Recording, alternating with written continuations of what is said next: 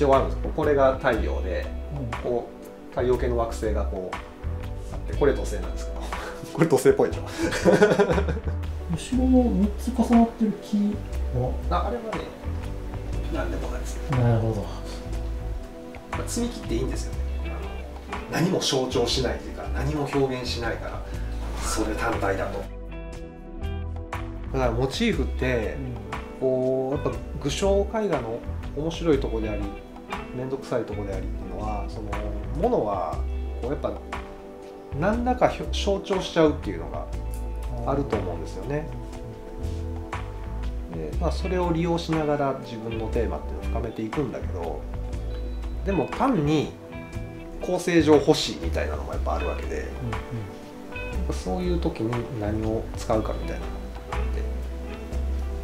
て積み木は結構、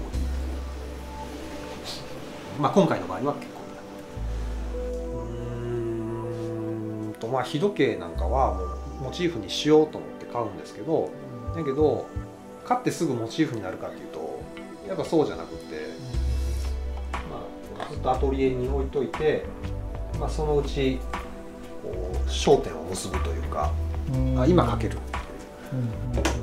日時計もやっぱ日時計だけではちょっと自分の中では腑に落ちてなかったんで、まあ、それがこう太陽系で太陽っていうことにしようってなった時に、あじゃあこう組んでみようかなっていう。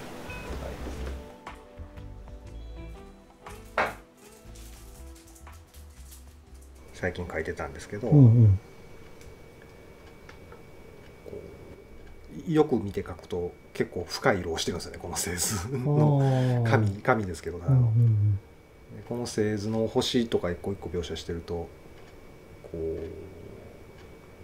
う,、ね、こう絵絵に現れてくる製図って、まあ、単なる紙なんですけどだけど本当の星空を見てるような感じもしてくる。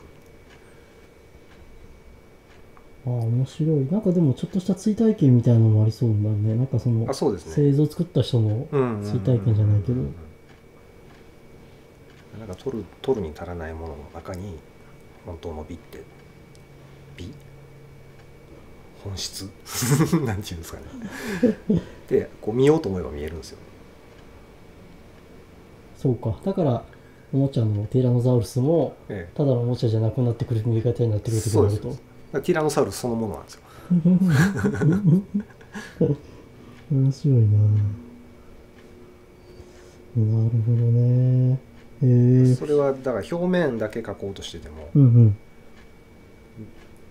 表面だけ描こうとしてたらまあ単なるゴムうんうんもんですけど深く入っていこうとすれば見えてくる